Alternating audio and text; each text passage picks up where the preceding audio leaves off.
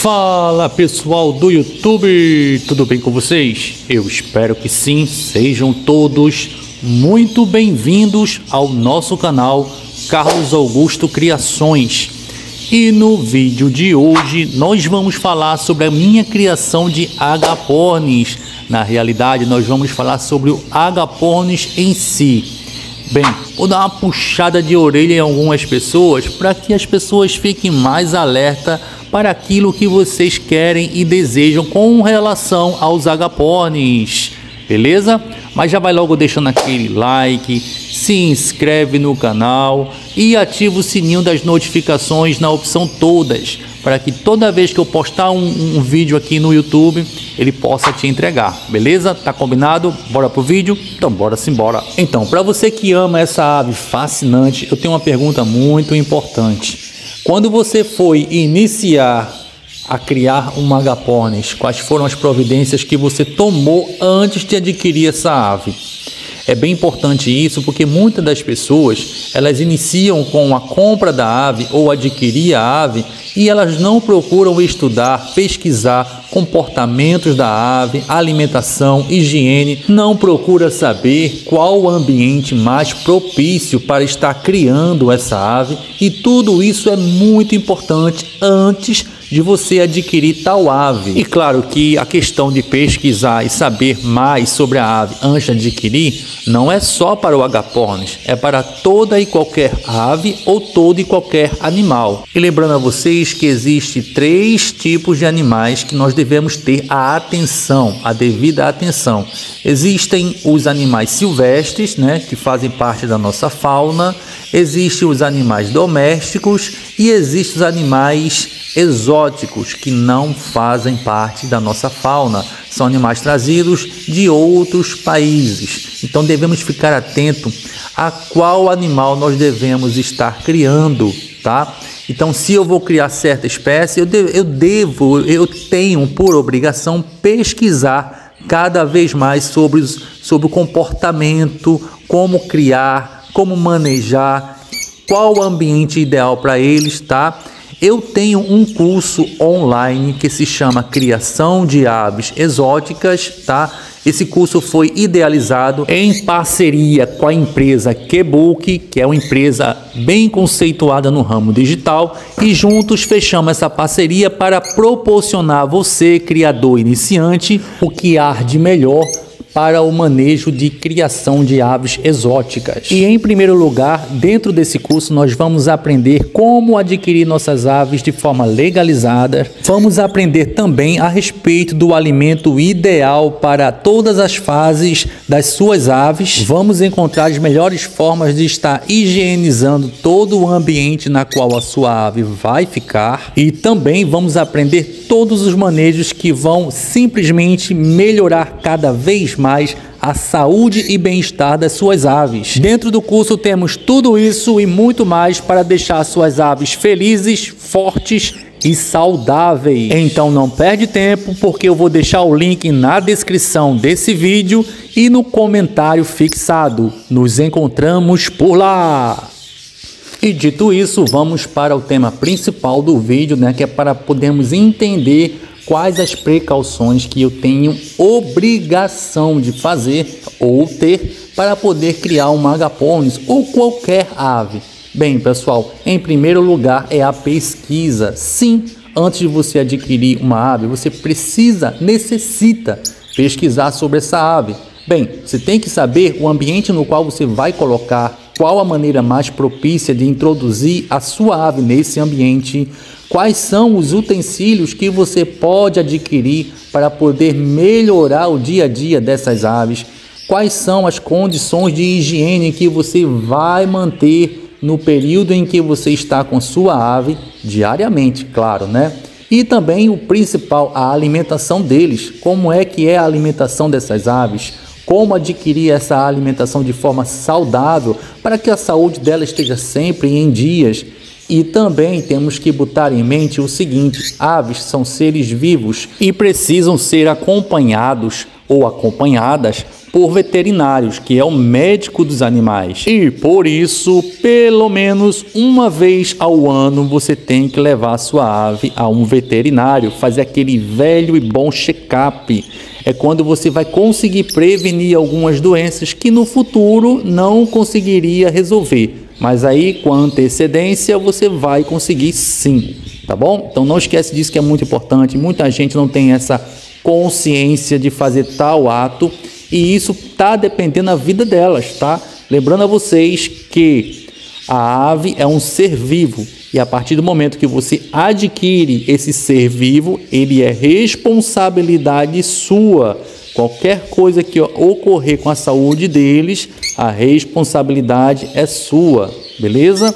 E por isso que eu indico, principalmente para os criadores iniciantes, procurar adquirir suas aves em lugares legalizados, ou seja, criadouros legalizados e compromissado com a criação de aves, ou seja, faz tudo da maneira correta, tá? E é lá que você vai conseguir todas as informações básicas para você conseguir desenvolver uma boa criação com as suas aves certo? E muitos, por negligenciar essa etapa de procurar uma ave no local certo, infelizmente procuram no local indevido. Aí levam uma ave para casa sem nenhuma informação, não sabe se é um macho, se é uma fêmea, se já foi vermifugado, se é uma ave tranquila, se é uma ave mais áspera enfim, qual a idade, né? Que precisamos muito saber da idade.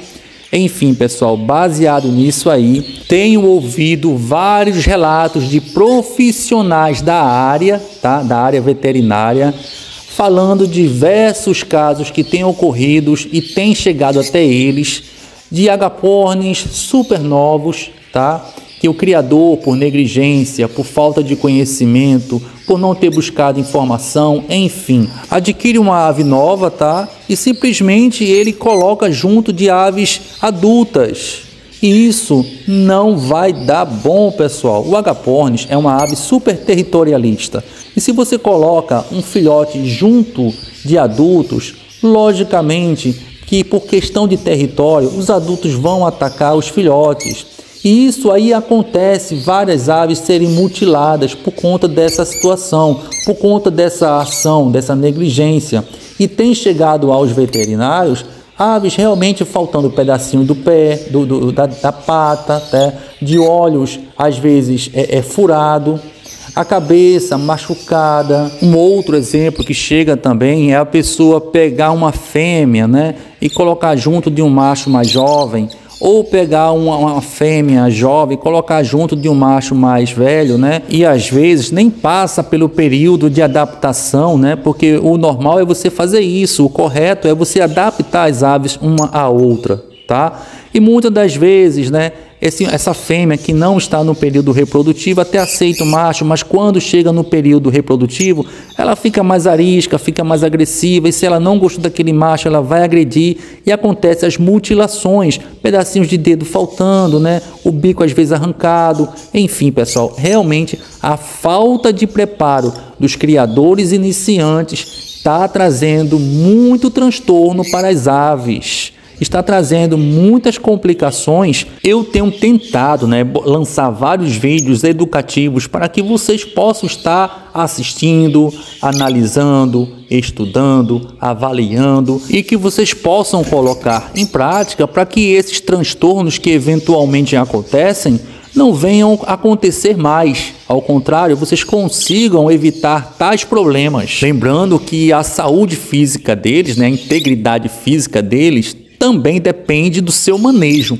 E é super importante você estar atento a todos os detalhes, observando, colocando em prática tudo aquilo que você aprende, tá? É nisso que meu curso se sobressai, pois os manejos que ele possui vão te levar para a direção correta e eficaz para que você possa ter sucesso com a sua criação. E pessoalmente, eu tenho visto fotos, vídeos de pessoas que mandam eu analisar as aves dela. Quando eu observo o ambiente, fico estarrecido, pessoal São lugares que estão completamente sem higiene. Os puleiros sujos, defecados, as bandejas muito sujas, cheias de, de fezes. Enfim, pessoal, vocês têm que estar tá fazendo essa limpeza regularmente. Recentemente eu vi uma matéria na TV que fala justamente, né, de uma nova lei, de uma nova PEC que eles estão lançando. Me parece que já foi até aprovada, né? E isso, essa lei, né, ela está proibindo é, comércio de aves. E futuramente isso vai acontecer uma evolução a ponto de, de evitar que você tenha aves em casa. Isso é apenas o começo. Mas isso, pessoal, muitas das vezes, tá? Eles se baseiam pelos maus tratos que nós criadores despreparados cometemos com a nossa criação. Então, nós temos também uma contribuição negativa para que as leis sejam formadas e venham piorar a nossa situação como criadores honestos, como criadores que temos nossas responsabilidades. Nós vamos pagar o preço por aqueles que têm negligência, por aqueles que são despreparados, que não procuram informações, que são negligentes com a sua criação. Esses trazem o grande problema, tá? Esses vão fazer com que as leis sejam criadas para embarrear no futuro a nossa criação. Eu fico muito triste, tá? E esse é o, o, o, objetivo principal do vídeo é tentar acordar vocês que têm um, um interesse em criar.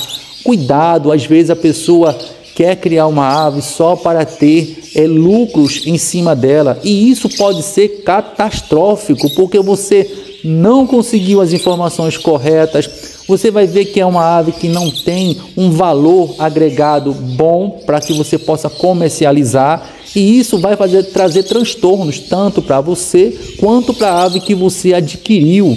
E isso, pessoal, temos que evitar. Não podemos estar olhando para aves como se fosse um cifrão, um cifrão que vai nos dar uma resposta financeira lá na frente. Não é legal fazer isso, pessoal. Se você quer criar aves, crie por amor, por paixão, com responsabilidade para que nada de negativo venha atacar as nossas aves. E se caso você não tem uma situação financeira boa para manter as aves, não pegue ave para criar. É simples, pessoal, é muito simples. É o mesmo exemplo de você ser pai e não ter condições financeiras de educar a criança que vai vir. É muito lógico isso, pessoal. Então você se prepare financeiramente para ter a sua ave, tá?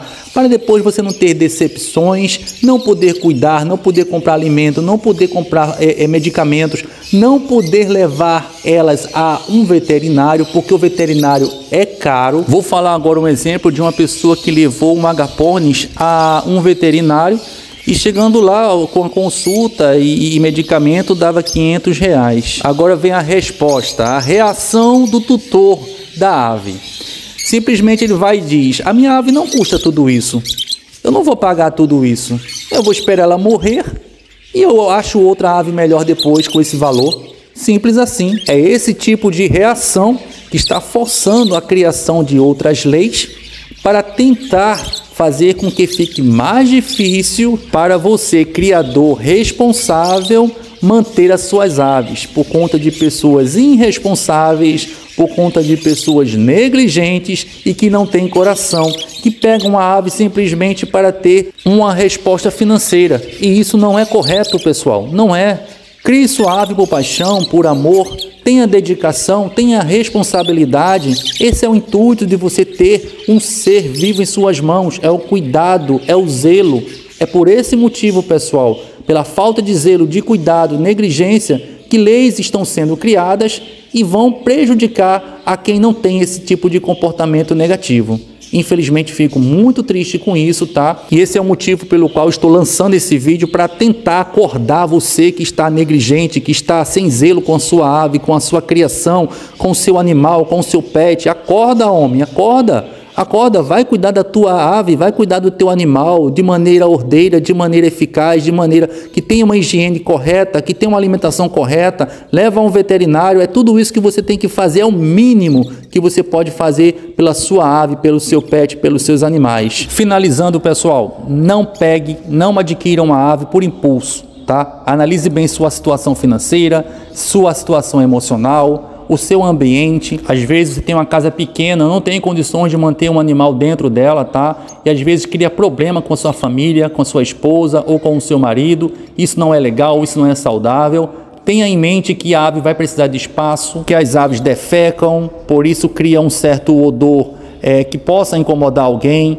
Elas soltam penas e se isso traz algum desconforto para o ambiente familiar, então é melhor você não adquirir para depois não estar tá desfazendo da ave a qualquer pessoa, tá? Então pense bem antes de criar uma ave para você não estar tá trazendo transtorno tanto para você como para as aves, tá? Agora, se você tem condições financeiras de criar uma ave, você tem um local legal para botar essa ave, não vai trazer nenhum maus tratos para tal ave, então procure somente pesquisar sobre a espécie, a alimentação, o manejo, para que você possa fazer tudo correto da maneira correta. E a pergunta que não quer calar é: você tem tempo suficiente para estar tá adquirindo uma ave e cuidar adequadamente dela? Você tem tempo para isso? Você tem tempo para estar tá higienizando todos os dias os comedouros, os bebedouros? a gaiola, você tem tempo para estar higienizando o ambiente no qual a gaiola fica ou o viveiro? Você tem tempo para estar tá lavando o ambiente? E quando o ambiente precisar de uma pintura ou precisar colocar cerâmica, você tem tempo para fazer? Você tem dinheiro para mandar fazer, já que você não tem tempo? Enfim, não fica correndo atrás de promessas de enriquecimento sobre as aves não, tá? Pois pode ser decepcionante e pode ser catastrófico, tanto para você quanto para as aves. Então, acorda, beleza? Gosta, ama, quer ter cuidado, quer ter responsabilidades com ela, beleza, adquira, abraça a causa, beleza? Caso contrário, nem passe perto, só admire e pronto, vá-se embora para casa, beleza?